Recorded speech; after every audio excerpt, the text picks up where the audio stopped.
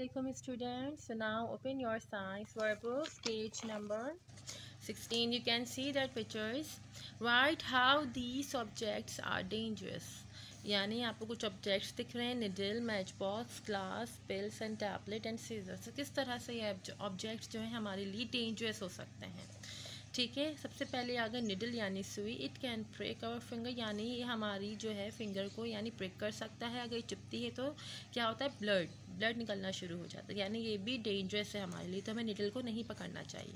Match box it can burn us यानी अगर हम माचिस के मैच बॉक्स से खेलेंगे, यानी से जलाएँगे तो हम बर्न भी हो सकते हैं।